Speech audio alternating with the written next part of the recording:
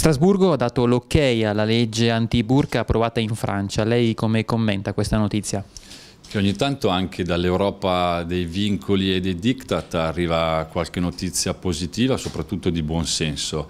Eh, la sentenza della Corte europea dei diritti dell'uomo certifica eh, un principio di assoluto buonsenso, ovvero il divieto di eh, viaggiare in luoghi pubblici o aperti al pubblico eh, travisati e questo vale in modo particolare per chi eh, si copre il capo eh, con burca o eh, indumenti simili. Quindi una notizia positiva che dà la conferma che la proposta fatta in Francia è assolutamente identica alla proposta di legge fatta dalla Lega ed è il motivo per cui la Lega, come già da tempo insiste e reclama, chiede alle forze politiche presenti in Parlamento di votare la nostra proposta di legge, che ripeto è una proposta di legge di buonsenso e soprattutto finalizzata a garantire sicurezza e ordine pubblico ai nostri cittadini.